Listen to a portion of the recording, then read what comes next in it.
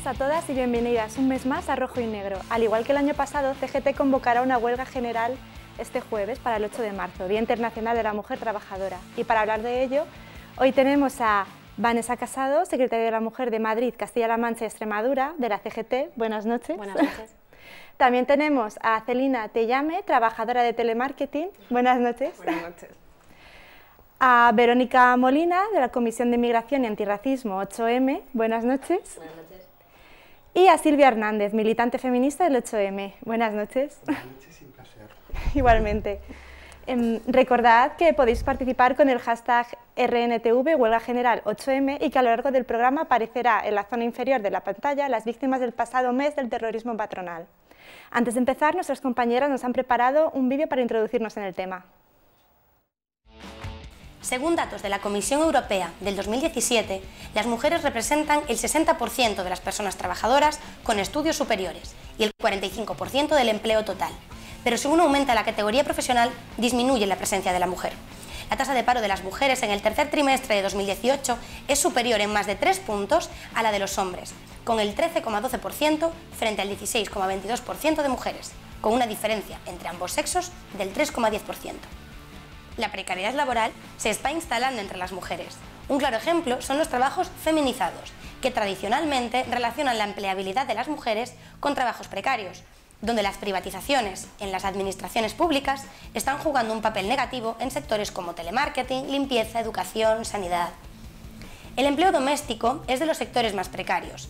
Las empleadas del hogar siguen sin poder acceder a la prestación por desempleo. No tienen protección ni prestación social y el despido es libre. Las pensiones de jubilación son completamente inalcanzables. El total de personas ocupadas con contrato completo en el tercer trimestre de 2018 es de 16.814.200 de los que 9.963.800 son hombres y 6.850.400 son mujeres. Por su parte, el total de personas empleadas con contrato parcial es de 2.713.800, de las que 698.600 son hombres y 2.015.200 son mujeres. La Unión Europea promueve la igualdad de género en el mercado de trabajo pero según los datos del Instituto Nacional de Estadística, el INE, para el año de 2017 esto no se cumple, ya que las mujeres cobran de media un 23% menos que los hombres, lo que supone trabajar 60 días al año gratis. Esta brecha de género la podemos ver también en las pensiones, con bases de cotización más bajas de las mujeres respecto a los hombres. Según datos del Instituto Nacional de Empleo, en 2018 la cuantía de la pensión media de jubilación de un hombre era de 1.175,84 euros, mientras en el caso de las mujeres se sitúa en 754,84 euros. La medida de conciliación entre la vida laboral y familiar se consideran un problema exclusivo de las mujeres y es necesario el establecimiento de políticas laborales, sociales y económicas que hagan efectivas la conciliación real de la vida familiar, laboral y personal. El tener descendencia representa un obstáculo para la vida profesional. El 44% de las mujeres entre 20 y 44 años no han sido madres y una vez que lo han sido, en el 94% de los casos, son las mujeres las que piden una excedencia para el cuidado de los hijos e hijas. 32.012 mujeres frente a 2.116 hombres. El acoso sexual contra las mujeres en el trabajo es un reflejo más de las violencias machistas de la sociedad patriarcal en la que vivimos. Entre 2008 y 2015 fueron acosadas sexualmente 2.484 mujeres en el entorno laboral, siendo esta cifra una pequeña parte del número real, ya que normalmente las mujeres no denuncian por miedo a perder el empleo. Y si hablamos de las mujeres migrantes, el 25% de ellas están en paro, y casi la mitad de las que lo tienen desarrollan trabajos no cualificados y en sectores como la hostelería, el comercio o el trabajo doméstico. Sus condiciones laborales incluyen el acoso sexual y racista en los centros de trabajo, acoso que difícilmente puede ser denunciado por miedo a una expulsión o deportación, debiendo soportar agresiones y violencias habituales carecemos de una política migratoria que garantice la regularización, la integración laboral y social de cientos de miles de personas, que en muchos casos pusieron en riesgo sus vidas para acceder a nuestro país. Nos situamos ante un mundo plagado de desigualdades, donde los distintos ejes de opresión social se entrecruzan y refuerzan mutuamente. En este panorama, el género es un factor de vulnerabilidad que en ningún caso puede entenderse de forma aislada a otros factores de dominación social. Muchas gracias, compañeras. Como ya hemos podido ver en el vídeo, la mujer sufre una discriminación total en el trabajo y fuera de él. Vanessa, ¿Por qué esta diferencia de salarios entre hombres y mujeres? Bueno, pues mm, me gustaría poder contestaros con un argumento sólido en referencia a por qué cobramos menos que los hombres, pero realmente este argumento no existe. Simplemente se basa en que vivimos en una sociedad machista. Eh, considero que para un mismo trabajo deberíamos de tener un mismo sueldo, pero esto realmente no es así. Según datos, como ha comentado el vídeo, pues una mujer cobra un 23% menos que los hombres, lo que supone que tiene que trabajar al año 60 días más para cobrar lo mismo que un hombre. Si lo traducimos a una vida laboral media, pues una mujer tendría que trabajar 10 años más que un hombre para poder llegar a cobrar lo mismo que él. Todo esto se traduce también a la hora de las pensiones. Eh, las mujeres cobramos eh, bases de cotización inferiores. Eh, como se ha comentado, pues los hombres llegan a tener unas bases de cotización media de unos 1.175 euros y las mujeres unos 754. No solo existe esta diferencia de sueldo y esta brecha salarial en cuanto a pensiones, sino que luego nos cuesta más acceder a los puestos de trabajo, accedemos a trabajos más precarios, temporalidades en contratos, etc. ¿Todo esto se debe a que estamos menos preparadas, como tú me comentas? Pues no, rotundamente no. De hecho, hay, estudios recientes que, dicen todo lo contrario. Las mujeres accedemos a más carreras profesionales, sacamos mejores notas y de hecho acabamos las carreras antes. Pero esto no se traduce en que luego la inserción laboral sea mejor para nosotras, o sea que no, tiene, no va en consonancia. ¿Nos tenemos que preocupar por esto? Pues bueno, nosotros desde nuestra organización sí nos preocupamos porque eh, también se dice que si todo esto sigue así, para que consigamos una igualdad en sueldos, eh, tienen que pasar siete décadas, nos iríamos al 2088. Entonces nosotros pedimos medidas inmediatas y concretas para que se reduzca la desigualdad eh, en los salarios y la consecuente desigualdad en la brecha en las pensiones. Celina, tú eres española, pero eres originaria de, Cabo Verde. Trabajas en un sector precarizado y feminizado como es el telemarketing. ¿Cuál es tu experiencia personal como mujer racializada tanto en el trabajo como fuera de él? Pues la verdad podría decir que tengo una experiencia normal y no mala, la verdad, eh, ni por el color ni por el género. En el ámbito laboral es, en el ámbito laboral, perdón, es bastante simple eh, porque, por ejemplo, en mi sector que es el telemarketing ya después es muy precario. Es decir, yo, mi compañero, el de al lado, tenemos unas condiciones tan bajas que aunque yo sea negra, él sea blanco, no se pueden bajar más. Es decir, estamos mm, en un nivel tan bajo que no me una discriminación pues no cabe lugar en el laboral porque todos estamos en un sector tan precario que nos vemos afectados al mismo nivel y no me pueden bajar más el escalafón. A nivel personal y vida cotidiana, pues yo la verdad pues me he rodeado de gente bastante buena, gente bastante abierta de mente, que eso es bastante importante. Claro que he tenido mis roces con, en ciertos momentos con ciertas personas no deseables, pero han sido bastantes pocas para lo que han podido sufrir otras personas. Yo mi círculo, mi zona donde vivo, pues la verdad que es un sitio muy abierto mentalmente y la verdad que podría decir que mi experiencia hasta el día de hoy es bastante buena. Y bueno, has hablado, bueno, tus, al trabajar en telemarketing tenéis coordinadores y bueno, responsables al mando. ¿Son mujeres o son hombres? Pues la verdad que ahí hay mujeres y hombres, por lo menos en la empresa en la que yo trabajo son mujeres y hombres. Es verdad que contra base más va subiendo, es verdad que son más hombres que mujeres. Mientras va subiendo la escala, esa jerarquía suele haber más hombres que mujeres. Pero lo que vienen a ser coordinadores, que, están, que son prácticamente, bueno, mis compañeros, como, bueno, todos en general son mis compañeros, pero sí que suele haber hombres y mujeres en ese, lo que viene a ser en mi empresa en concreto. Em, Silvia, Pablo Casado ha hecho unas declaraciones donde afirma que la baja natalidad es debida a los abortos. Eh, ¿Qué piensas tú de estas declaraciones? Eh, bueno, pues creo que vive en otro país que no es este para, para hacer esas declaraciones. El hecho que lo primero, antes, decir que el aborto o el derecho al aborto de la mujer, bueno, el cuerpo es de la mujer y su libertad de decisión sobre el hecho de decidir si quiere abortar o no quiere abortar, si quiere ser madre o no quiere ser madre. Ninguna persona tiene el derecho a privar la libertad de otra persona en decisiones, en ese sentido. Así que, y menos que lo diga un hombre. Porque eso de la perpetuidad de la especie, eso lo tendrá que decidir una mujer, no un hombre en ese sentido. Entonces es el derecho de ser y es la libertad de la persona que elige y nadie puede privarle de esa libertad y menos decidir que esa persona tiene que ser la perpetuidad de la especie en este, en este caso, ¿no? Pero es un hecho que es de la mujer propia y su decisión. Y nadie se tiene que meter en ello, en ese sentido. Y, ninguno, y en ningún caso, en ningún cuerpo que pueda gestar, en ese sentido.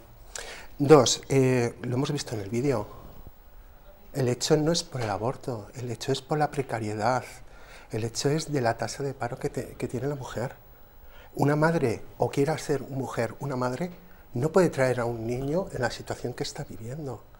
¿Por va a traerle para sufrir? Si ya por sí misma está sufriendo una esclavitud del patriarcado, ¿cómo va a traer una criatura para que sufra más? En ese sentido, ¿qué tenemos que ser? las, esclavas de su sistema social patriarcal para ese hecho? No.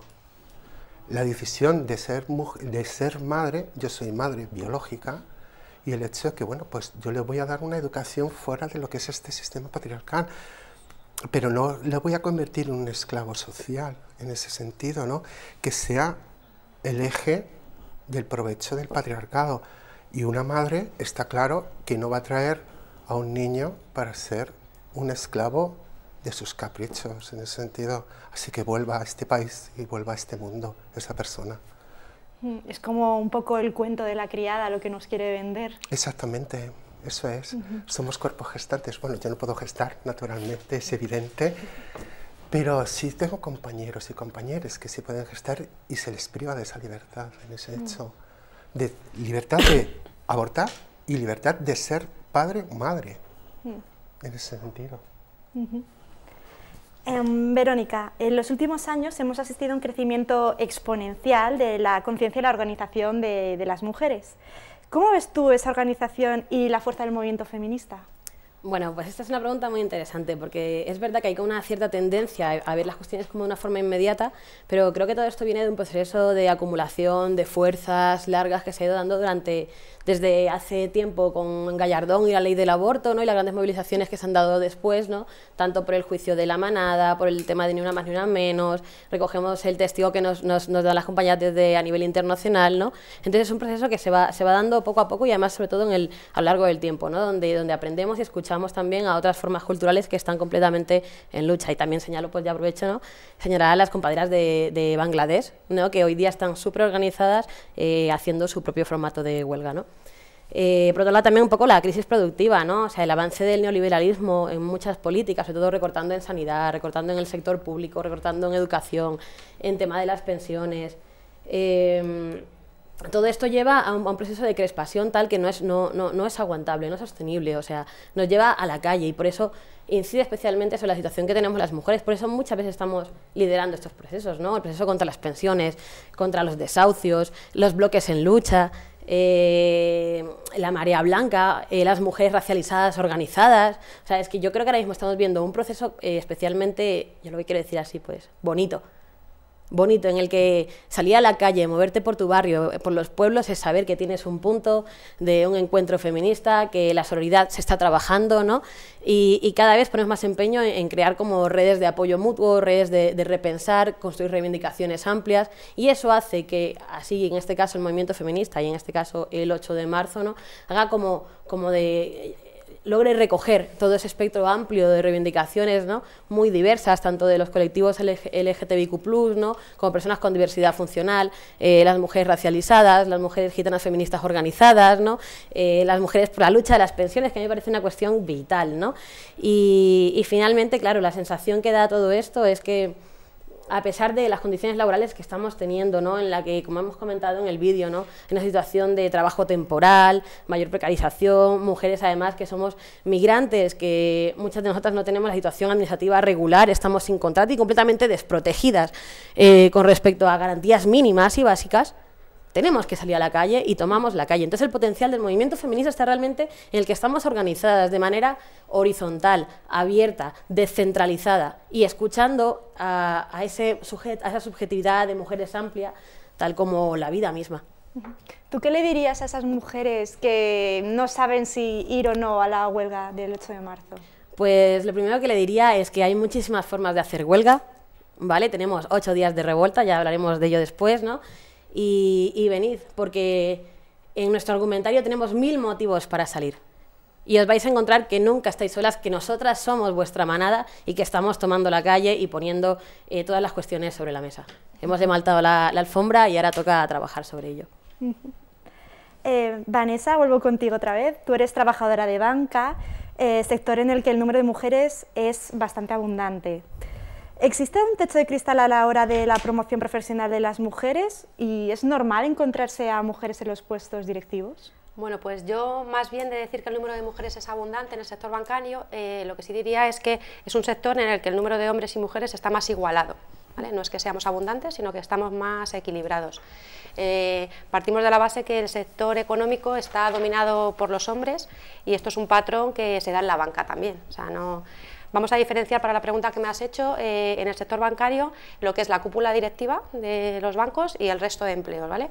Si nos vamos a las cúpulas directivas, que podemos buscar información en internet o en cualquier sitio, que no nos va a ser muy difícil, pues comprobamos que las entidades bancarias en España más relevantes, las cúpulas directivas que suelen estar formadas por 15 miembros, 14, eh, predominantemente están compuestas por hombres, es decir, de 15 miembros, 14 son hombres o 13. La mujer eh, es minoría, casi no ocupa puestos de alta dirección. Si nos vamos, por ejemplo, al resto de empleos, pues lo que puede ser una oficina bancaria, la red de oficinas, una directora comercial de zona, bueno, pues ahí encontramos mujeres, sí, es un sector en el que estamos muy igualados y hay mujeres. Eh, lo que es cierto, y la gente que nos movemos dentro de ese sector lo conocemos, es que las mujeres acceden a esos puestos de trabajo y cuando su situación eh, familiar cambia, es decir, deciden ser mamás, vemos que cuando se incorporan a estos puestos, pues en el mejor de los casos pasan a, estar en una mesa atendiendo a gestores, a empresas y en el peor pues acaban, acaban en caja. ¿vale? Es algo que eh, estas prácticas pues bueno, son prácticas patriarcales que aunque dentro del sector bancario, vuelvo a decir, seamos equitativos, pues se producen en banca. Eh, Silvia, ¿Cuál es la situación laboral y social del colectivo LGTB? Bueno, ante todo mm, me gustaría decir disidencias sexuales, género y cuerpo, porque incluimos a, todas, todos y todes en ese sentido. Y pues el sector más desfavorecido sobre todo es hacia la mujer, sobre todo con una disidencia el hecho que se pueden descubrir algún tipo de anormalidad como el que se cree que el patriarcado es en donde vivimos, puede ser despedida o no admitida en el puesto de trabajo. Eh, sobre todo influye mucho el cuerpo, en el sentido de la imagen que puede dar la empresa, el cuerpo que tú puedas tener o dar la imagen del cuerpo, ¿no? En ese sentido, nosotras, por ejemplo, las personas trans, rompemos todas sus ideologías de género y todas sus eh, ideologías binaristas patriarcales. Por lo tanto, mm, sufrimos un mayor eh, tasa de, paro. Sufrimos entre un 85 y un 87% de paro, siendo un 1% de la población. Entonces, eh, la mayor parte de las personas trans que sufre es la mujer, porque más difícil y es más complicado que nosotras, en ese hecho, eh, marquemos un cano como el patriarcado marca, o el sistema social patriarcal marca, que es el cano femenino perfecto para que podamos acceder a un puesto de trabajo. Normalmente pues nosotras no vamos a alcanzar nunca ese canon, sobre todo las que tenemos una mayor edad en ese sentido. Entonces encontramos dificultad para encontrar el empleo. Nosotras pues sufrimos lo que es la doble discriminación. La mujer trans blanca sufrimos la doble discriminación, ser mujer y ser trans. Pero una mujer racializada trans sufre tres discriminaciones, ser racializada, ser trans y ser mujer. Una de las dificultades que tenemos también para acceso al, al, empleo es un documento, una tarjetita que nos dice que, quién somos en ese sentido. Realmente es verdad que dice esa tarjetita quién somos, porque lo dice una normativa social. Bueno, pues la mujer migrante le cuesta muchísimo que se reconozca su nombre. Porque tiene que hacer ir a su registro, al registro civil de su país. Por lo tanto, tiene una doble dificultad de ir a su país porque somos personas precarias o indigentes. ¿Cómo van a ir a su país a hacer un cambio de nombre? Entonces, mayor dificultad para encontrar un empleo en ese sentido.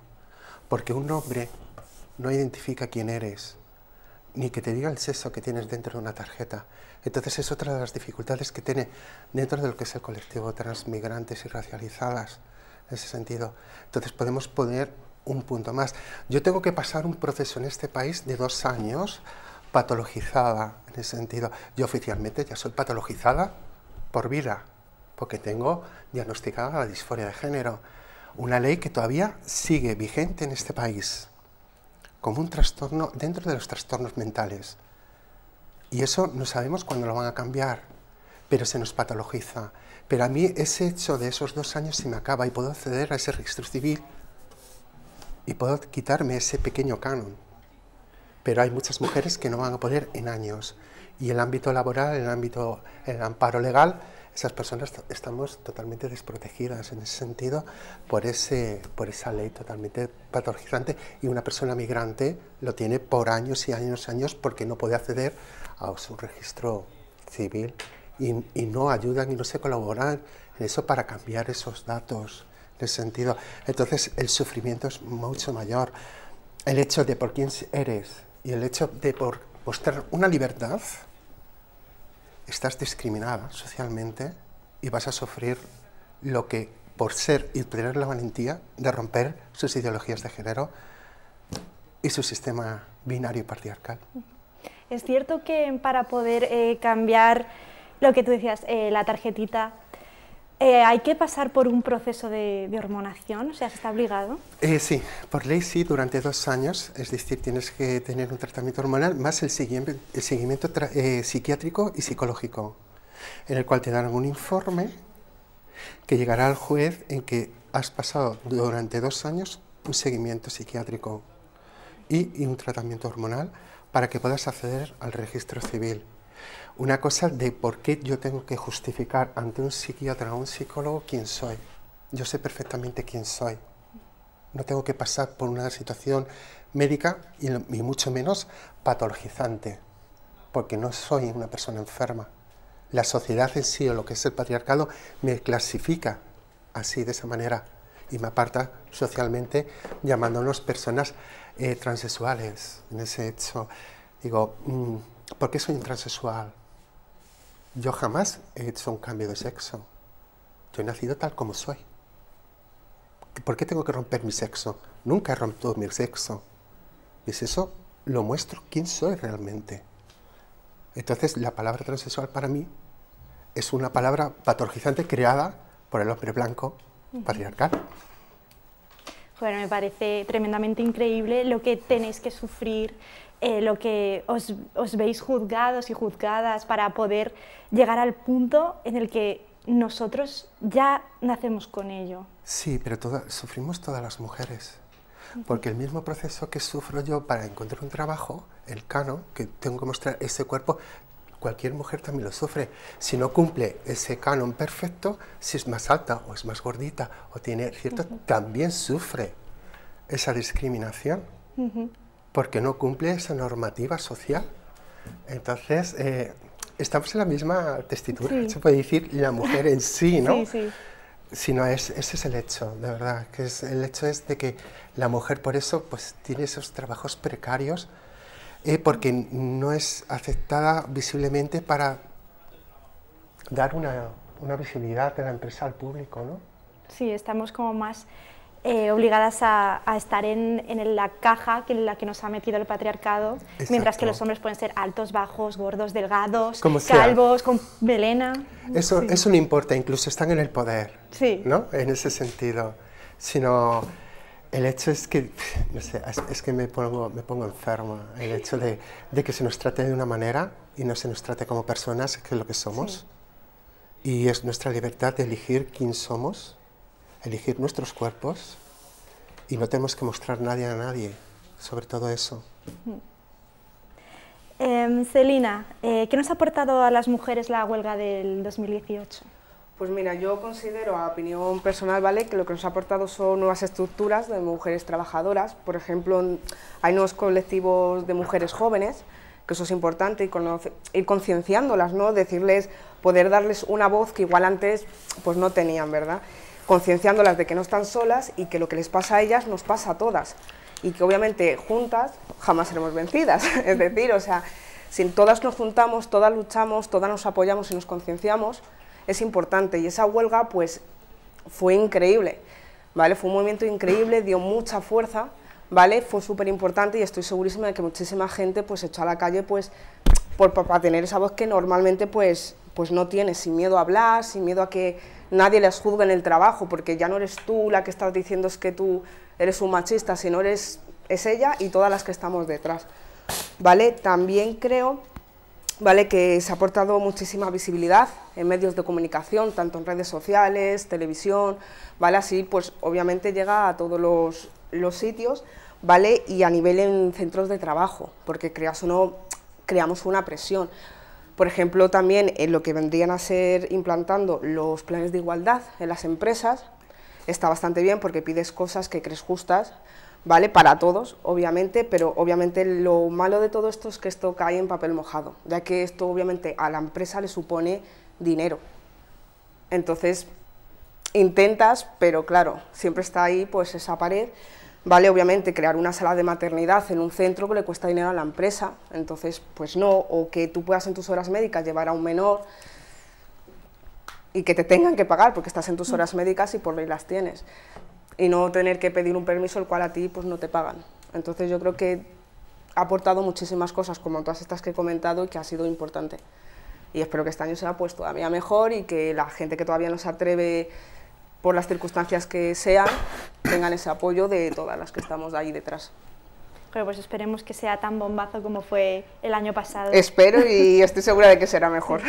Bueno, desde, desde la CGT hemos preparado un, un cortometraje que queremos compartir con todas vosotras. Se llama La Función.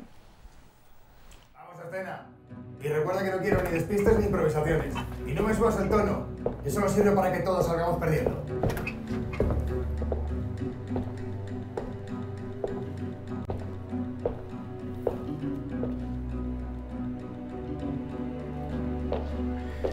Muy buenas noches. Con la venia de esta chusma, de este público maravilloso, me presento ante esta negociación para hablarles de un truco que nada tiene que ver con el ilusionismo. De hecho, es un truco que destruye cualquier ilusión, cualquier esperanza.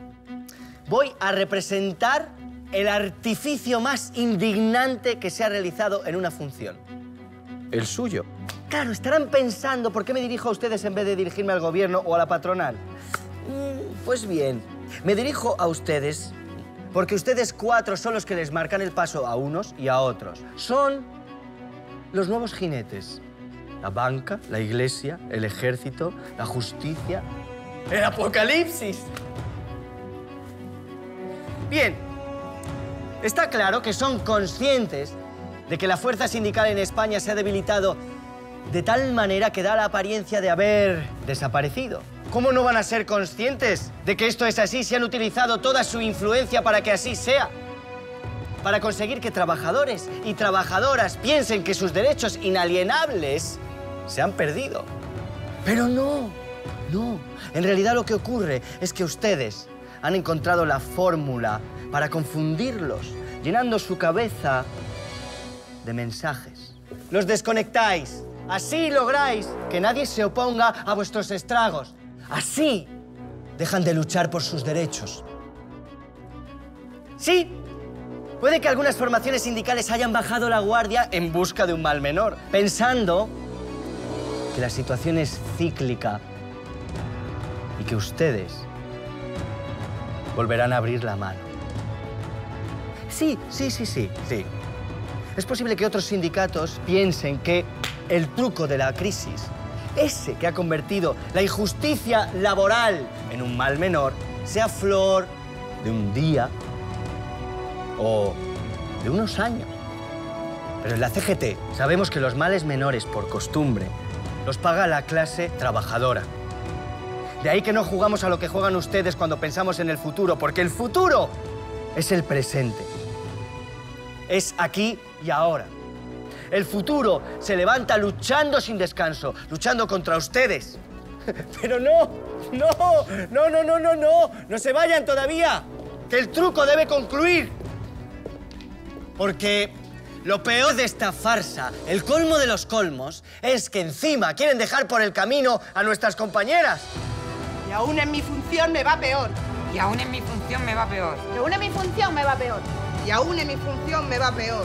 Y aún en mi función me va peor. Y aún en mi función me va peor. Aún mi situación es peor. Aún mi situación es peor. Aún mi situación es peor. Aún mi situación es peor. Aún mi situación es peor. Aún mi situación es peor. Aún mi situación es peor. Aún mi situación es peor. Aún mi situación es peor. Aún mi situación es peor. Aún mi peor.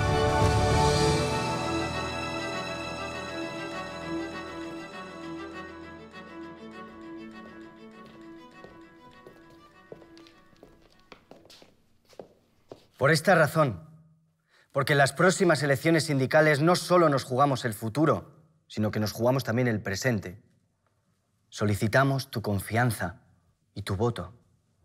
Porque en la CGT luchamos por ti ayer, luchamos ahora y lucharemos siempre. Es cierto que la función debe continuar, pero tus derechos también. Tus derechos no se tocan.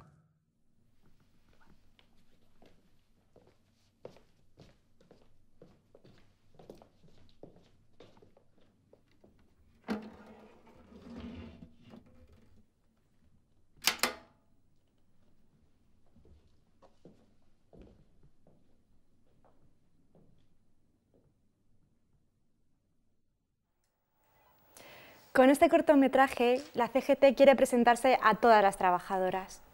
Hemos visto que la situación de las mujeres en el mercado laboral es aún peor que la de los hombres. Pero no solo en el trabajo es donde la mujer está discriminada. El papel preponderante que el sistema patriarcal asigna al hombre y a la educación recibida provoca las violencias machistas que vemos a diario. Verónica, aunque la violencia física es más visible, la violencia psicológica hacia la mujer es quizás más importante. ¿Qué supone la invisibilización de esta violencia? Claro, o sea, para, para responder esta pregunta yo creo que tenemos que imaginarnos ¿no? como muy claramente la, típica pirámide ¿no? en la que tenemos la violencia, la parte física es solamente la parte visible, vamos a decirlo ¿no? de alguna manera, o sea, estando en la parte de arriba lo que son los feminicidios ¿no? y un poco más abajo que también sigue estando visible sería la parte de lo que es la violencia física, en plan maltratos físicos, Em, vejaciones, o sea, cuestiones que son fácilmente identificables.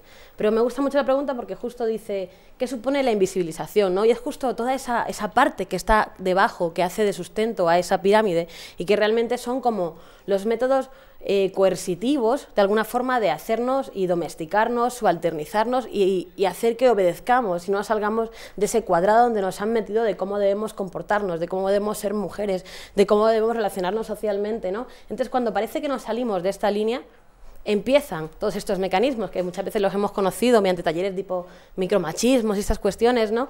que son entre ellos como se nos culpabiliza, chantajes emocionales, desvalorización, humillaciones, el humor sexista, el humor racista, el control sobre nosotras, la publicidad sexista. Es, hay toda una estructura que ha sido por algunos muy bien pensada y desde luego se nos aplica directamente a nosotras. Y ese control se hace tanto en el espacio público como en el espacio doméstico, en el espacio eh, íntimo, en, nuestras relaciones laborales. Entonces, nosotras que queremos un cambio transformador, que aspiramos a otro tipo de sociedad que no reproduzca todo este tipo de violencias. Desde luego, jamás feminicidios, jamás violencia física, pero jamás violencia psicológica, porque son estos los mecanismos coercitivos, coactivos, de fuerza invisible en cierta manera, ¿no? que nos dicen, oye, te has salido del cuadrado no te estás comportando como queremos que lo hagas. No eres una subalterna, no eres una domesticada, estás siendo una salvaje, estás siendo una loca, estás siendo una, una, mm, una histérica. No soy ni histérica, ¿no os dais cuenta que tu humor no me gusta? ¿No os dais cuenta que cuando se cae, eh, cuando, cuando se recoge la mesa y tú no te levantas, compañero, eso también es violencia? Entonces, realmente nosotros vamos a esa base de la pirámide, que ahí es desde ahí, en esos métodos que pasan completamente desapercibidos, que son los que legitiman finalmente y, cuando aparecen antes de que luego lleguemos a, a, lo que es, por supuesto, los feminicidios. Es un proceso largo de lucha y por eso, además, hilándolo con la pregunta anterior, sin irme demasiado del tema, eh, la articulación del movimiento feminista es muy amplia y entonces podemos encontrar tanto talleres de micromachismos que nos ayudan precisamente a ver estas realidades, a reconocerlas y a luchar contra ellas en el día a día, así como talleres de construcciones de masculinidades hegemónicas eh, contaminadas, contaminadas y además bastante perjudiciales para, nosotras. Em, Selina, ¿tú has notado discriminación o violencia por, además de ser mujer, por tu color de piel? Pues violencia no. Gracias a Dios yo nunca he tenido ningún percance, ni alguien me ha intentado agredir, ni demás. Sí que quería puntualizar, y en referido que ha hecho mi compañera, pues un comentario.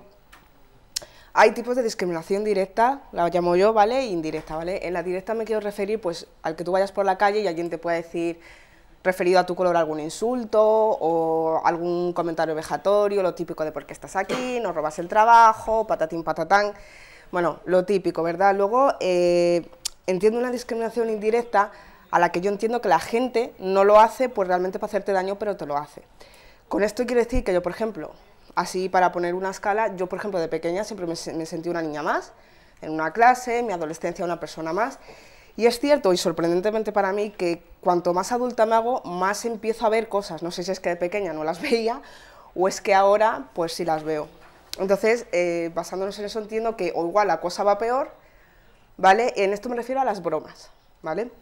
Yo puedo estar en mis ámbitos actuales, como pues el trabajo, otros ámbitos en el que todo el mundo siempre tiene un chiste. Puede salir muchas conversaciones y siempre hay un chiste mm, referido al color o al extranjerismo o tal. ¿Y qué pasa? Que aunque igual estas personas, yo entiendo, porque es gente de mi entorno, o gente cercana, o gente pues en mi no lo hace igual a malas, pero eso te repercute, ¿vale? Te repercute porque, claro, cuando te lo hacen un día, te puede hacer gracia. Incluso hasta yo misma hago bromas de negros, o sea, ¿vale? O sea, no me importa porque yo estoy orgullosa de lo que soy y a lo que represento, ¿verdad? Pero cuando te la están haciendo un día, otro día, otro día, siempre, siempre encuentran cualquier cosa para hacerte una broma o un chiste respecto a tu color. Entonces tú, cuando estás en esos ámbitos, no es como cuando era pequeña que decía, Celina, la niña, o Celina, no, es Celina, la chica negra. ¿Por qué? Porque es como que, no me avergüenzo ni nada, pero ya no es soy Celina, o como puede ser cualquiera de mis compañeras, eres tú, o Pepito, ¿no? Es como Celina, y te recuerdan la chica negra, porque es un chiste, otro, otro, otro. Entonces yo lo llamo, pues eso, indirectamente porque entiendo que hay mucha gente que no lo hace con mal, pero también tienen que entender que hasta qué punto puedes considerar una broma, algo cuando se repite tantas veces y cuando a ti realmente te hace sentir, sí, que eres Terina, pero también es Terina la chica negra, por esa clase de, chistes y comentarios, llamémoslos graciosos, porque yo no lo hago. Yo no cojo a un compañero y digo, ah, eres blanco, tú has robado África.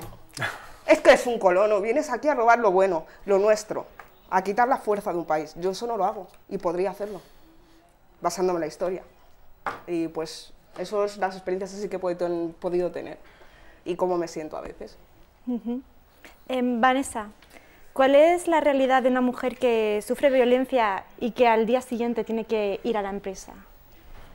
Pues a ver, eh, una mujer violentada, pues lo primero que siente pues, es miedo. Siente miedo y, vergüenza de tener que reconocer lo que le ha pasado y mucho más por tener que, contar lo que le ha pasado. Entonces, una vez que da el paso de contarlo, no le queda otra, pues se ve con que sus compañeros pues, le van a cuestionar, le van a pedir que lo demuestre, la van a juzgar. Entonces, pues bueno, em, ¿esto por qué pasa? Pues porque en las empresas no existen realmente eh, protocolos que protejan efectivamente a la mujer y en otras empresas ni siquiera existen.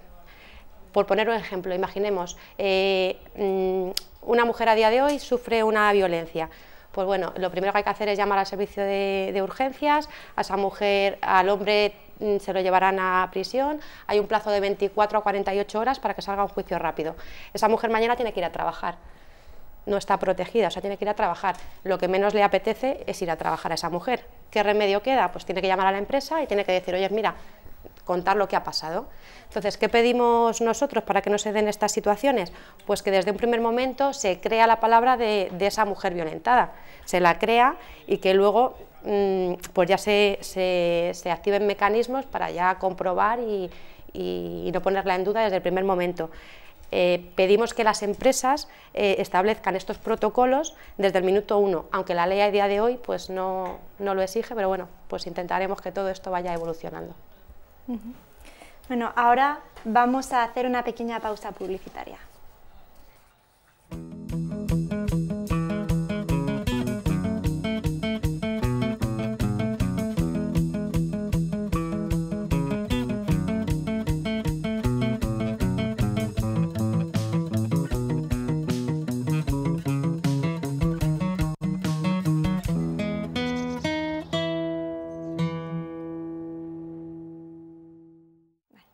Silvia, empiezo contigo. en los últimos meses estamos asistiendo a un incremento considerable de agresiones y asesinatos a mujeres. ¿A qué piensas que obedece este efecto? ¿Podría ser un efecto llamada por el tratamiento que dan la información en los medios? Bueno, es difícil contestar a ello porque justificarte que eh, la agresión puede ser llamada por o influida por terceras personas siempre. Siempre ha habido ese hecho de que otras terceras personas empujen hacia, hacia una agresión, ¿no? En ese sentido. En ese caso sí, yo creo que sí hay terceras personas que influyen hacia, el, hacia la agresión porque empujan hacia, hacia el odio. El hecho de que un movimiento, este movimiento de mujeres que hay, está poniendo en peligro un, un, empoderamiento que siempre ha tenido el hombre. Por lo tanto, están perdiendo ese, esa potestad de, poder. ¿Y eso puede crear agresión? Sí, puede crear agresión, ya que son empujadas en el sentido de cómo no podemos perder, eh, porque tenemos que seguir dominando a estos seres inferiores que son los que son nuestras criadas diarias, ¿no? Diariamente. Eh, cualquier persona agresiva eh, no puede ser tampoco que sea una influencia de otras terceras, sino que es agresiva ya por sí, en ese sentido, y ya también se siente con ese empoderamiento y ataca a lo que para él es inferior.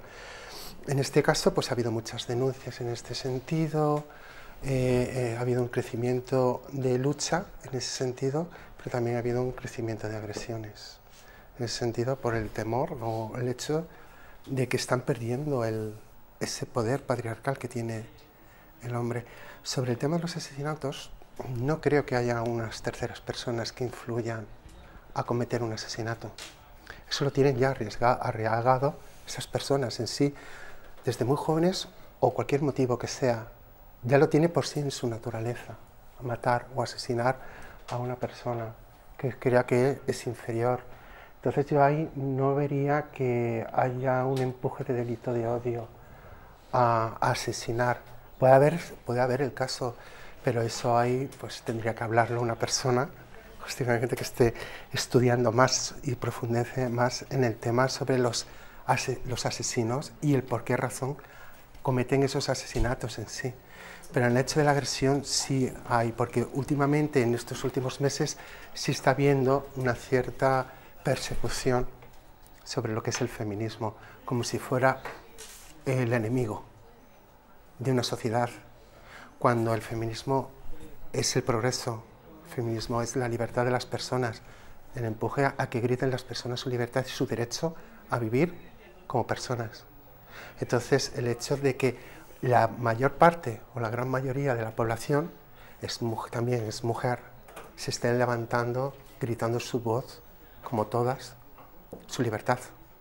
Entonces, sí puede haber un empuje hacia parar ese movimiento y utilicen la, agresión o empujen esa persecución terceras personas para que sigan agrediendo y cojamos ese miedo. En ese sentido, tiene que haber de todo y yo creo que sí hay terceras personas que empujan a, que haya más agresiones hacia lo que es la, a la mujer en ese sentido y toda su diversidad en ese sentido. Pero sobre los asesinatos ya hay dudo mucho. Y ahí ya tendría que responder mejor una persona más cualificada el por qué un asesino le empuja a matar en ese sentido. Y bueno, ahora estamos viendo en el caso de las violaciones múltiples, mm. desde que salió el caso de la manada se han multiplicado. Sí, porque han visto que tienen impunidad y eso empuja a que salgan a la calle. Ah, yo lo hago y, a los dos días estoy en la calle y lo vuelvo a hacer porque no hay un castigo sobre, sobre ello. Ya lo han visto que cinco personas, dos que pertenecen a las fuerzas de seguridad del Estado, tienen la libertad de hacer un acto que es totalmente pues, agresivo, humillante a una persona, con total impunidad. Pues naturalmente todos los grupos y menores lo hacen en ese sentido, que cada vez hay más. Entonces ahí hay un problema también que es el sistema judicial, en ese, en ese sentido, porque no, no ven lo que es esa agresión. Ah, lo hacen los hombres, como si tuvieran el derecho a hacerlo. O decir, ah, la víctima es una mujer, ¿no? Y, y ¿por qué se ha dejado? Vamos a ver, son cinco personas, yo no voy a ponerme a, y no me voy a resistir para que me quede yo peor en ese sentido. ¿En qué sentido o qué cabeza cabe que, una, que den impunidad a estos actos? En ese sentido, entonces yo creo que hay un fallo muy grave, muy grave en lo que es todo lo que es el Código Penal de este país, que tenían que reformarlo, pero ya, inmediatamente. Sí, luego vamos a meternos con este tema sobre la justicia y cómo en cierta parte las leyes son cómplices de estas personas. Muy patriarcales. Sí, demasiado, creo yo. Bueno, em, Vanessa, eh, ¿crees necesario que en el currículum escolar estuviera contemplada una asignatura de educación en, igualdad? O sea, ¿crees que contribuiría a crear una verdadera igualdad? Pues eh, no solo veo necesario que, exista una asignatura en igualdad, sino que yo considero que debería ser algo obligatorio. Eh, uno de los ejes de, la jornada del 8M concretamente es la estudiantil y, bueno, es porque el sistema educativo pues es, el principal espacio de socialización que tienen los niños y hoy por hoy está muy lejos de ser un espacio donde los niños puedan crecer en equidad y en igualdad. Eh, los niños desde pequeñitos, ya con tres añitos, cuando empiezan el cole eh, en infantil, pues es cuando están más receptivos, es cuando debemos inculcarles unas pautas de comportamiento. entonces yo creo que eh, la educación en las aulas, junto con la educación que se le da en las familias, serían las herramientas necesarias para intentar eliminar contenidos sexistas en nuestra sociedad y transmitirles valores de respeto, de tolerancia y valores no sexistas. Mm, aunque muchos centros educativos sí que es cierto que están trabajando en, llevar a cabo iniciativas en este aspecto, pues eh, bueno, queda mucho por recorrer, aún estamos empezando. Se hace necesario, por tanto, y consideramos que, debemos de luchar por una educación pública, laica y no sexista. Eh, Verónica, desde la transición ha habido una renovación y democratización del Poder Judicial que está dando muestras de su orientación patriarcal. ¿Crees, eh, ¿Qué pensáis de la actuación de una parte de la justicia? ¿Sus sentencias son adecuadas, por ejemplo, como ya habíamos dicho antes de la manada? Bueno, pues justo quisiera empezar diciendo ¿no? que llevamos años, o sea, incluso desde los años 70 y 80 ya se daban sentencias en las cuales había una auténtica ya no solo desprotección, ¿no? sino que además había como, ¿cómo explicarlo? Sentencias eh, absolutamente escandalosas, que ni siquiera condenaban la violencia sexual machista ni la violencia machista, diciendo que además era la mujer la que provocaba por el hecho de ir con una minifalda. ¿no? Y lamentablemente hoy día nos vemos y nos topamos otra vez con el mismo tipo de, sentencias completamente aterradoras, pero aterradoras por, más cuestiones. ¿no? O sea, estamos en un caso en el que eh, ha sido una cuestión múltiple ¿no? O sea, varias personas, varios hombres en este caso. Muchos de ellos además conocedores perfectamente de la legislación, ¿no? Que lo cual es todavía peor aún es qué tipo de autoridades estamos creando, ¿no? Y tenemos ahora mismo sustentadas con dinero público, o sea, todo hay que decirlo.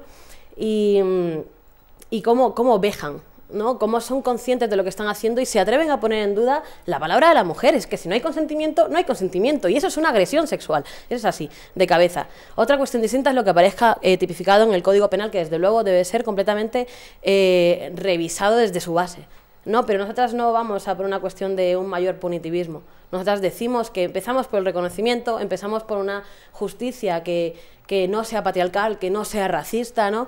y que además eh, contemple eh, precisamente uno de sus principios, que es la reinserción. ¿no? O sea, tiene que haber programas de prevención que se den con presupuestos, los programas de reinserción, a una vez que estas personas ya han cometido los, delitos, ¿no? que el simple punitivismo como tal, decir si nueve o 20 años, sinceramente, que hayan programas dentro que, garanticen una reeducación, ¿no? Porque luego estas personas las vamos a tener fuera y tenemos pues casos lamentables que han pasado últimamente que, han dado que han dado buena fe, o sea, bueno, que han dado que han demostrado que no están funcionando. Entonces, eso también hay que revisarlo, ¿no? No hay que poner todo el peso en que, que no nos instrumentalicen. ¿Vale? Que el caso de la manada no es una excusa para coger y decir ahora prisión permanente revisable. O sea, vamos a separar las cuestiones y tenerlo muy claro, ¿no? Porque aparte la violencia sexual es una forma clásica de colonialismo me diréis por qué, ¿no? Claro, se coloniza el territorio, pero también el cuerpo de las mujeres. ¿Vale? Se conquista el cuerpo de las mujeres. Me jacto del cuerpo, de, cómo lo conquisto. Y además, no sé, es como, ¿qué, qué, imagen estamos dando? Para mí es una cuestión que, que, como, que en una justicia social no cabe. Y, me salto, pero vuelvo a meterlo, porque creo que es una cuestión como muy importante y que va completamente hilada con respecto al tema de la justicia, es cómo es posible que en este sistema hoy día tengamos centros de internamiento para extranjeros, o sea, es dar un poder punitivo que no existe porque no han cometido ningún tipo de delito. Eso es un encarcelamiento en situaciones completamente precarizadas, que no, no, no, no son contemplables, como en el siglo en el que nos encontramos eso está existiendo hoy día, cómo podemos salir y tener miedo cuando vamos a la calle, cuando vamos en el metro, porque por un lado somos agredidas o somos expulsadas o somos detenidas, somos vejadas, no les importa nuestro recorrido social y cómo hemos hecho un aporte. O sea, va mucho más allá. La justicia, desde luego, está, se ha desvinculado de la sociedad. Eso es lo que está pasando hoy en día y, eso se debe, se debe revisar y debe haber como una auténtica reflexión profunda que nos lleve a, cambios reales. ¿no? Pero desde luego hoy día no, no nos representa. Para nada. Em, bueno, ahora nuestra compañera Ángela nos va a dar el consejo de este mes. Hola a todas y bienvenidas a nuestro Briconsejo. Este próximo 8M, Día Mundial de la Mujer Trabajadora, toda la clase obrera está llamada a secundar y participar en una jornada de huelga general de 24 horas.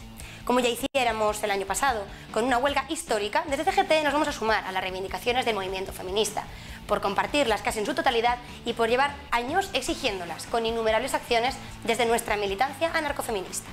Sobran los motivos para ir a la huelga el próximo 8 de marzo tenemos que acabar con la desigualdad en el ámbito laboral, económico y social de las mujeres. Hemos de poner fin a la desigualdad que se produce de la división sexual en este sistema capitalista y patriarcal.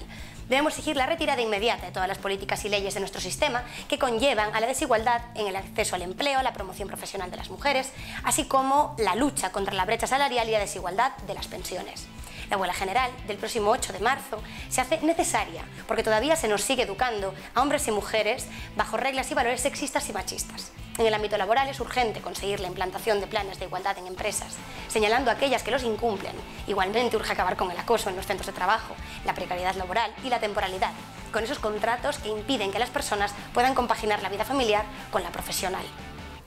No debemos olvidarnos en esta huelga que la lucha también es por la consideración de las tareas de cuidados como trabajo con derecho a remuneración, que las empleadas del hogar puedan equipararse al régimen general con todos sus derechos y no podemos olvidarnos durante este día de lucha de nuestras compañeras migrantes. Importantísimo es lograr también el fin de una vez por todas del terrorismo machista, causante de más de 900 feminicidios desde que se contabilizan los asesinatos de mujeres.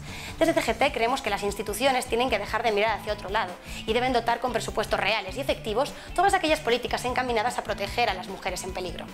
Y en último lugar, exigiremos durante nuestra huelga feminista que las religiones, especialmente la católica, dejen de inmiscuirse en la lucha y los derechos de las mujeres a decidir sobre su sexualidad, sobre su propio cuerpo y en definitiva sobre todo aquello que les afecta como personas.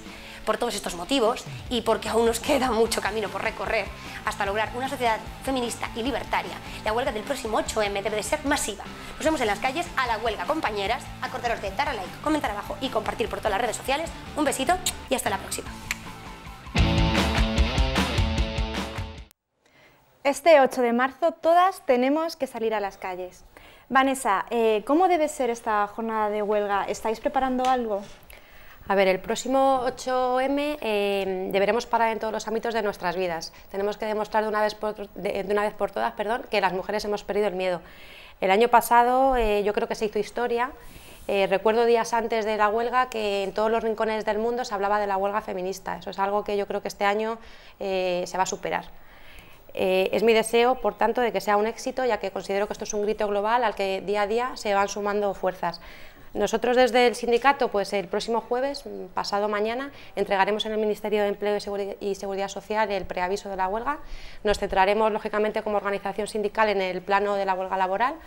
Elaboraremos materiales propios, pues cartelería, publicidad, propaganda, eh, aspectos legales. Nuestro propósito con esto, difundirlo en las secciones, eh, los sindicatos y hacer campaña en todos los centros de trabajo informándoles de por qué tienen que hacer huelga, de sus derechos, sus obligaciones y, conseguir pues, que las mujeres desaparezcamos de todos los espacios que ocupamos. Es decir, que no vayamos a las empresas, a los comercios, a las fábricas, que no vayamos a ningún sitio. Eh, por nuestra parte también participaremos en todas las acciones sindicales y sociales que se organicen los días previos y el propio día 8, m eh, Celina, desde el sector donde trabajas, ¿vais a realizar acciones como el año pasado? Eh, ¿Piquetes, protestas? Sí, por supuesto, va a ser igual que el año pasado, ¿vale? Espero que tenga muchísima más repercusión, de acuerdo. Sí que haremos piquetes, luego es cierto que pararemos a desayunar, que nos lo traerá el desayuno los compañeros habiendo comprado el día anterior, ya sabemos que es una huelga de consumo, ¿vale? Porque ellos también nos ayudan y están en este, en este movimiento, ¿vale? Entonces luego ya cuando descansemos sí que hablaremos con nuestras compañeras a ver que, pues bueno, cómo ha estado la mañana, los piquetes, más que nada porque los comités de huelga van a ser de mujeres, por lo menos en el sector del telemarketing, ¿vale? Y nada, y luego por la tarde pues a manifestarnos, esperando que venga mucha gente, que sea, como ha dicho nuestra compañera, que fue increíble, que sea todavía más increíble, que consigamos más gente y que, y que se nos oiga. Eh, Verónica, ¿cuál va a ser el llamamiento que se hará desde el movimiento feminista eh, de cara a la huelga de consumo estudiantil y de cuidados? Pues, eh, como hemos dicho, ¿no? por un lado tenemos lo que es el propio día de la huelga, que es el 8 de marzo, ¿no? pero la gran apuesta son los ocho días de revolta. Porque ahí lo que hacemos es superar el concepto tradicional de, huelga general por el, de huelga feminista, ¿no?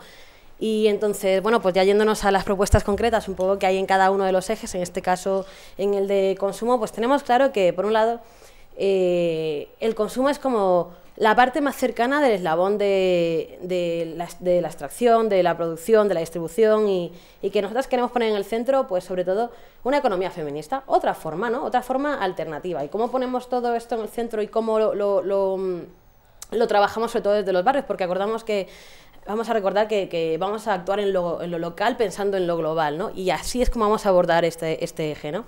Entonces, por un lado, eh, vamos a intentar reducir el consumo y, cómo se generan los, residuos, ¿no? boicoteando sobre todo empresas ¿no? que, transnacionales, las cuales explotan en el sur global, el consumo de, objetos farmacéuticos que hacen experimentos con animales o con otros cuerpos, ¿no? Eh, por tanto, vamos a intentar como reutilizar, ¿no? también eh, bancos de tiempo,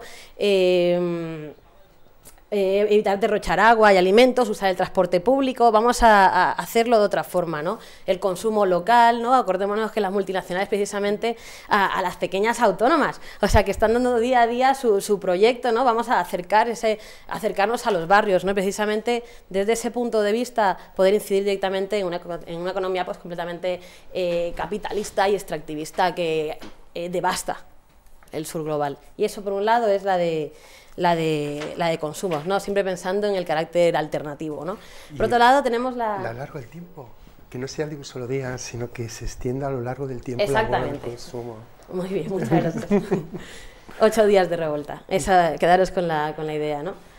Entonces, por otro lado tenemos la estudiantil, ¿no? Que mm, que bueno, o sea, empezamos reivindicando ¿no? lo que es una educación pública, laica, a la vez que es tolerante y, se muestra abierta a otras formas de libertad religiosa que son minoritarias, ¿no? que hay que siempre hay que puntualizarlo, hay que tener como las cosas claras en ese sentido, feminista en todas las etapas y antirracista en todas y cada una de ellas precisamente para intentar prevenir la segregación que se da hacia muchos colectivos. ¿no? Eh, si queremos prevenir la violencia sexual, tiene que ir acompañada, como antes has comentado, ¿no? de una educación afectivo-sexual diversa, ¿no? que precisamente deje de, de encapsularnos en, en estereotipos, ¿no? Entonces pensamos en coeducación, en corresponsabilidad, en que se promueva y se incentive la contratación de educadoras en, todas las etapas y ciclos que sean cruzadas pues, por todas estas intersecciones de ejes de dominación, ¿no? porque qué mejor forma ¿no? que el sector educativo está tanto en el sector de, la, de, la, de, las limpiadoras, que están allí también presentes en todos estos centros, en las trabajadoras, en las, en las en, nuestras educadoras, en nuestros profesorados, en nuestras compañeras. Entonces aspiramos a hacer grandes movilizaciones, a no ir a clase, a organizarnos y, sobre todo poner en, el centro eh, las reivindicaciones que en el sector estudiantil, que es como hemos dicho, ¿no? la educación de cómo vamos a, sociabilizarnos en un futuro, en, en, el centro. Y ahí estaremos pues pues siempre con, el, con, esa, con esa gran energía ¿no? que tiene el, sector joven. No me rollo mucho, ya me queda nada más que la de cuidados. Eh, pues esta es para mí uno de los, de los sectores más fuertes, ¿no? porque al poner los cuidados en el centro, estos son siempre pasados a un segundo plano, se terciarizan ¿no? Y, y caen sobre nuestras espaldas, nos demos cuenta o no. ¿Qué quiere decir? ¿no? Que el hecho de que cada vez haya una mayor privatización de los servicios públicos esto recae directamente sobre nuestras espaldas. Nosotras cuidamos en la casa, cuidamos en el hogar, cuidamos en nuestros trabajos, cuidamos en nuestros espacios íntimos. Entonces ese día no lo hacemos, dejamos de cuidar. Dejamos de cuidar porque queremos que los servicios mínimos sigan cubriendo esa parte esencial de la sociedad. Si nosotras paramos, se para el mundo. Si paramos de cuidar, se debe seguir cuidando. O sea, esto es una cuestión muy, que, o sea, que, que, es central, ¿no? Entonces, esa importancia, esa necesidad, esa responsabilidad social, que no recaiga solamente sobre nosotras. Y es completamente inexcusable que se siga privatizando, ¿no? Y, y decirlo, ¿no? Desde luego, porque he de hacerlo presente para que no se diluya. Luchamos tanto contra los techos de cristal como contra el suelo pegajoso, donde muchas veces nos vemos completamente clavadas, pero clavadas en las peores condiciones, en las más precarizadas, de absoluta desprotección. Y como hemos dicho antes, si encima sumas que no tienes un contrato de trabajo, o sea, ¿qué, ¿qué, tipo de condiciones vas a tener? Entonces nosotras paramos los cuidados en el centro, haremos recorridos por barrios, señalaremos los sitios públicos donde precisamente se tiene que dar, señalaremos los sectores feminizados, pero es eh, dignificar los cuidados poniéndolos en el centro, porque ahí es donde está la vida y precisamente estos trabajos son los peor valorados por este sistema capitalista, colonialista y, resto de ejes de opresión. Eh, Silvia, ¿crees que es imprescindible la visibilización del colectivo LGTB en las movilizaciones de este día? todo, todo colectivo oprimido por el patriarcado tiene que ser visible, y sobre todo si está dentro de lo que es la lucha transfeminista y, feminista. Porque el hecho de ser oprimido también tiene el derecho a gritar su, su libertad de ser, su libertad de sentir, libertad de amar en ese sentido. También son eh, personas que son perseguidas por el sistema patriarcal, por esa normativa patriarcal. Por lo tanto, sí es importante, sobre todo, que salgan a la calle y esa manifestación y griten su, también su derecho a, vivir en, libertad en ese sentido. Y reforzando naturalmente eh, lo que es el feminismo dentro de la mujer, lo que son las bolleras o lesbianas, las bisexuales, todo lo que son las disidencias en ese sentido, ¿no? porque tienen el mismo derecho que cualquier otra persona. Y sigo insistiendo dentro de lo que es el transfeminismo y el feminismo. Lo que no vería lógico es que viniera el, patriarcado rosa o el capitalismo rosa a protestar dentro de algo que va el feminismo en contra de, de, de esas luchas, ¿no? En ese sentido. Pero bueno, también será, si quieren ir a la manifestación, pues que vayan, pero a mí me parecería algo raro, ¿no? En ese sentido. Pero sí lo veo necesario la visibilización de que somos diversas, en ese sentido.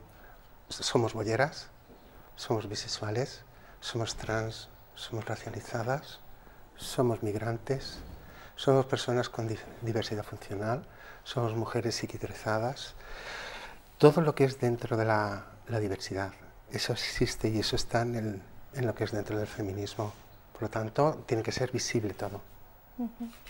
Porque muchas, sobre todo mm, las mujeres que somos eh, lesbianas, bisexuales, trans, eh, sufrimos incluso muchísima presión dentro del patriarcado eh, cuando se refieren a violaciones mm. correctivas, terapias de conversión, mm.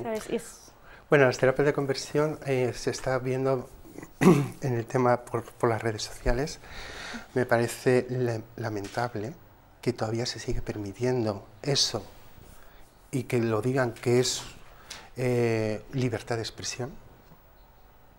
Pero el hecho de atacarte a ti por ser quien eres, eh, eh, te sientes dañada, ya no puedes quejarte porque es una libertad de expresión. En sentido, pero yo cuando me expreso ya no tengo esa libertad de expresión de por quién soy, entonces me tengo que ocultar. ¿Por qué me tengo que ocultar? En ese sentido, ¿no? Entonces esa manía, esa persecución que tiene lo que es el sistema eh, normativo social, patriarcal, de que todos tenemos que ser heteros, con familias numerosas, eh, o familia única y ejemplar. ¿Por qué? Porque no puede haber dos mujeres dentro de un matrimonio. Porque no puede haber una persona de identidad trans. Porque una persona de identidad trans no puede ser bollera o no puede ser bisexual. En ese sentido. ¿Por qué? Porque está fuera de la normativa. Ya somos expulsados, somos anormales, ¿no? Dentro de lo que es el, lo que empezó más fuerte cuando era la época del colonialismo, es que nos trataban como personas anormales junto con las personas racializadas, inmigrantes, ¿no? Nos consideraban así, que no nos consideramos, no nos consideraban personas. Por lo tanto, esa sociedad no nos consideran personas. Nos consideran un desecho que hay que eliminar. Bueno, desde aquí quiero decir que ya a título personal como periodista, libertad de expresión es señalar los defectos de los poderosos, de lo que están haciendo mal, de lo que nos oprime, no atacar a las minorías y a los menos favorecidos. Y bueno, sigo contigo, eh, Vanessa. ¿Cuál debe ser el papel del hombre en el desarrollo de esta huelga? Eh, CGT ha decidido convocar una huelga general. Eh, esta huelga general está dirigida a toda la clase trabajadora, sin distinción alguna por situación laboral, sexo, raza, edad, etcétera. Em, con lo que afecta a hombres y mujeres. Estamos todos convocados y nuestro objetivo es paralizar el sistema productivo y luchar contra este sistema capitalista y patriarcal. Las mujeres sí que tenemos claro que deben de ocupar el papel protagonista, deberán ocupar los espacios públicos y nuestros compañeros pues, nos, nos apoyarán en todo lo que sea necesario para que nosotros podamos ejercer nuestro derecho a huelga y parar en todos los ejes. Em, entonces, para que quede bien claro, eh, desde nuestra organización, compañeros, debéis secundar la huelga, pues sí, os animamos a que la secundéis y a que colaboréis con nosotros en todo lo necesario para conseguir que esta huelga sea un éxito. Eh, la huelga y las movilizaciones son dos herramientas con las que contamos como organización sindical para visibilizar cada una de nuestras luchas. Eh, en este caso estamos visibilizando la discriminación de las mujeres y la necesidad de un cambio social y cultural. Lo haremos, como siempre, eh, basándonos en una sociedad libertaria, en la solidaridad y el apoyo mutuo.